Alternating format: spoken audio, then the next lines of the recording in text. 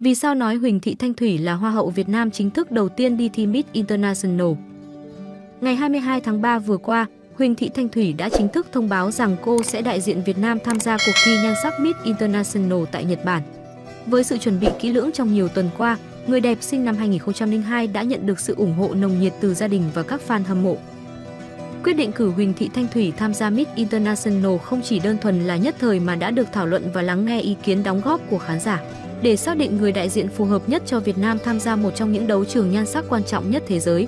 Hiện tại, Thanh Thủy đang gấp rút chuẩn bị các trang phục dân tộc, dạ hội cũng như rèn luyện kỹ năng trình diễn và nâng cao trình độ tiếng Anh cũng như tiếng Nhật. Sự xuất hiện của tin vui này đã khiến cộng đồng mạng và người hâm mộ rất hứng thú. Trước đó, đã có nhiều cái tên được đề cử để tham gia các đấu trường nhan sắc quốc tế và Thanh Thủy là một trong những người được đánh giá cao. Đặc biệt, khán giả cảm thấy tin tưởng vào cô khi biết rằng cô là hoa hậu từ cuộc thi nhan sắc chính thức tại Việt Nam, điều chưa từng có với đại diện của Việt Nam tại Miss International. Huỳnh Thị Thanh Thủy, 22 tuổi, quê gốc Đà Nẵng, sở hữu chiều cao 1,76m. Năm 2022, cô đăng quang cuộc thi Hoa hậu Việt Nam. Trước đó, cô từng đạt danh hiệu Hoa Khôi Đại học Ngoại ngữ, Đại học Đà Nẵng và Á Khôi một cuộc thi học sinh, sinh viên thanh lịch của thành phố Đà Nẵng năm 2021. Hiện tại, Thanh Thủy đang theo học tại Đại học Ngoại ngữ, Đại học Đà Nẵng và Đại học Greenwich Việt Nam.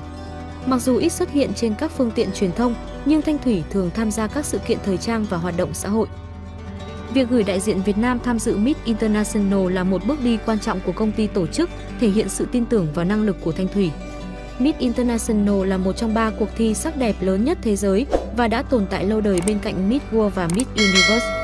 Trước đó, các đại diện Việt Nam đã có thành tích tốt tại Miss International như Á hậu Thúy Vân giành danh hiệu Á hậu 3 năm 2015, Á hậu Tường San giành danh hiệu top 8 năm 2019 và Á hậu Phương Nhi giành danh hiệu top 15 năm 2023. Cảm ơn các bạn đã quan tâm theo dõi đừng quên đăng ký kênh Việt News để cập nhật tin tức nóng hồi mỗi ngày.